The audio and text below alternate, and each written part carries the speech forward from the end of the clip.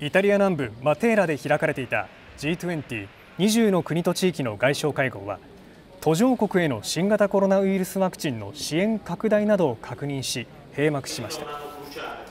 会合では気候変動問題や途上国の持続可能な開発に向けた支援なども議題となりました。